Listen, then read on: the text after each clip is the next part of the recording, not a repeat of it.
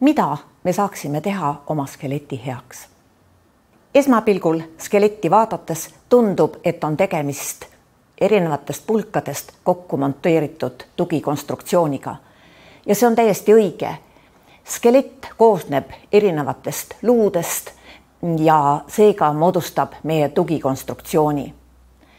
luu sisemuses kulgevad veresooned, mis toidavad eh, luud ja aitavad kaasa mm, uue luukoe tekkele.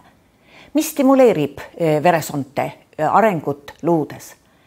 selleks on löögilised koormused mm, luudele, nii-öelda põrutuslik koormus, jooks, hüpped, pallimängud stimuleerivad veresoonte hargnemist.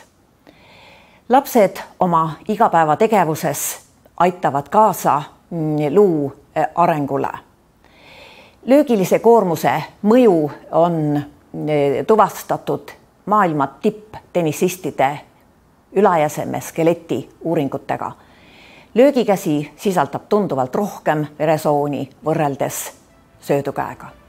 selleks, et skelett suudaks vastu pidada kogu meie pika eluea, on ainus soovitus targalt liikuda